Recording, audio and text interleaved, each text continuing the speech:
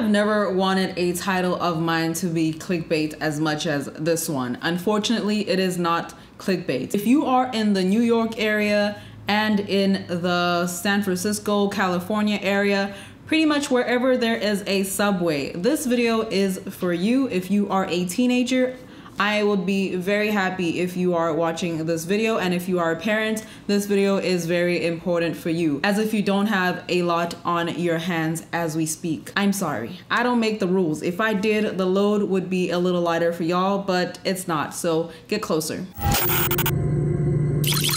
I'm not sure how long Subway Surfers has been around. However, when I was in high school, I was playing Subway Surfers. It has great graphics as you guys can see. It is a thrilling video. If you want to put it in simple terms, it is pretty much a boy running away from the cops, but he's running on top of trains running on top of sand. Y'all see how it looks. Now this game gives you the adrenaline, it gives you the thrills, it gives you all the good excitements. However, there are people in this world that want to seek even greater thrill. This is when they take a video game and want to mix it with real life. And this is what we get. The images you guys are seeing are of children, teenagers, going out on the subways, riding the trains like I think it's Jake. I may be wrong, but the boy from Subway Surfers. I honestly don't think it would take a genius to understand the dangers that come with subway surfing in real life. It is highly illegal, and this has been going on for over four years. I say over four years because I was looking at articles which we will be looking at together and there was an incident that happened four years ago, which was 2020. So it's a lot. So please be warned right now. Without yapping your ear off, let's get into these videos. Yeah, on riders have been stopping us all afternoon to tell us how shocked and saddened they were to hear of a teen girl dying in this way. Now, Metro Transit police say that girl was trying to subway surf on a red line train this morning near the Silver Spring Metro station. And now subway surfing is an extremely dangerous trend where someone tries to stand on top of or outside of the train as it is moving. Metro Transit police say that girl was killed around 1030 this morning. They have not yet released her name or age. And this is unfortunately the second time in less than a year that someone has been killed in a subway surfing incident here on the Metro Red Line. Back in June of last year, a 15 year old boy from Silver Spring died near the Brookland Metro station. He had fallen beneath the wheels of the train. And we have also seen subway surfing incidents in New York and San Francisco. Now, obviously, this should go without saying. Subway surfing is highly, highly highly dangerous. Authorities say under no circumstances should anyone be trying to do this. Uh, the trend had first gained popularity on TikTok, but after numerous deaths last year, TikTok announced it would be pulling down any videos related to subway surfing. Today, many riders on the red line told us they couldn't understand why someone would try to stand on a moving train. Now, I'm sure as a parent, you're probably watching this and saying, freaking TikTok, we're sick of it. However, this has been happening even before TikTok.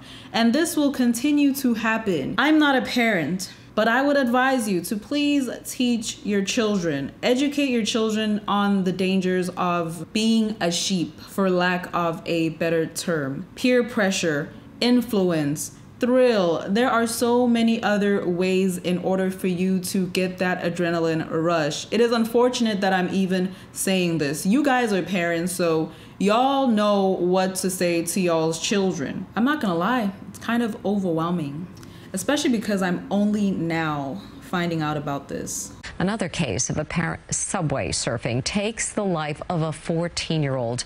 This latest incident happened in Sunnyside, Queens. CBS 2's Elijah Westbrook reports it comes as the MTA reports these cases are becoming more common. Another teen is dead after subway surfing, this time along the 7 line between the 33rd Street and Queensboro Plaza stations Thursday afternoon. Police say Javon Frazier, a 14-year-old boy from Canarsie, Brooklyn, was killed after riding the top of that train. His body was discovered injured near an elevated stretch of tracks. He was rushed to the hospital where he died. Investigators say the boy was with other teens, but it's unclear if they were subway surfing as well. The tragedy comes after this incident on the L line. Both were found underneath a northbound L train, which is Manhattan Manhattan bound. Last Thursday, the Bushwick Aberdeen train station was the site of where police say two teens, both 14 years old, were riding the top of a subway car before falling off when the train entered a tunnel. One of them died. Maya Perez says her friend Brian lost his life in a similar incident. He was a sweet kid. He very funny. He would um, him pass away. It, it really does affect me because I I knew him very well. And it's young losses of life like this that Mayor Adams wants to stop, saying there was an 366% increase between 2021 and 2022.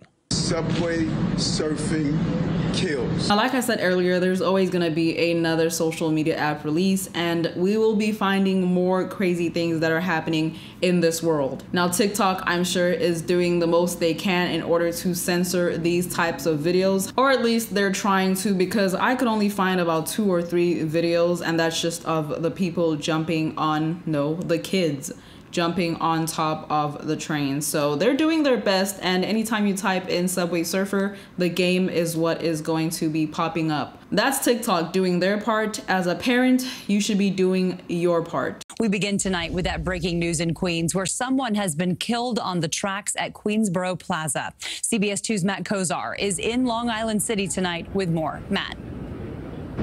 Jessica, the Queensboro Plaza station remains closed, and just a few seconds ago, we watched police carry a body down these steps. Our sources are telling us that this was a subway surfing incident.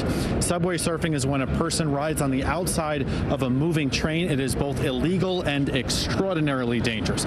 We do not yet have information regarding the person who was killed or the exact details regarding this subway surfing incident. We're told the victim is a teenager and was found by an MTA worker. Sources say it happened between 9, 9 o'clock this evening to 9.30 along the 7 train leading northbound. This train station also serves the N and W lines and we've been told that service has been disrupted. We are still gathering information, much more to tell you about this story, and as, as we get more facts, we will be sure to deliver them right to you, but for now, we're told this was a subway surfing incident. Next up, we'll be watching a person person that survived who was a teenager when he made his decision of subway surfing. But before we get into that, I saw one comment on TikTok and I'm just gonna put it out here as well, just in case just in case. And the comment pretty much said, I do not have sympathy for stupidity. You guys can go to my exposing series and write that all you want, and I honestly would not care. When it comes to this, I feel a certain way about it. I definitely do, especially because these are babies. I know they're teenagers, but they are indeed babies. So before you type that in there, just know the chances of you getting blocked are very high. Let's get into the video. I was uh, seeking adrenaline rush, you know? Even 10 years later, Brooklynite Issa Islam bears the scars of his decision to subway surf back in 2013 literal scars like the ones on his head, and others, like the walking stick he now uses, having lost his vision. It's 3 a.m., pitch black, you know, freezing cold. I turn around and high impact slap my face on a subway beam. Issa was just 12 days shy of his 18th birthday in 2013 when he decided to subway surf along with his two cousins. They were on top of an F train climbing up around the Smith Street station. He turned suddenly only to see a beam coming right at his forehead. I was uh, fading in and out of consciousness. Uh, my eyes are rolling back.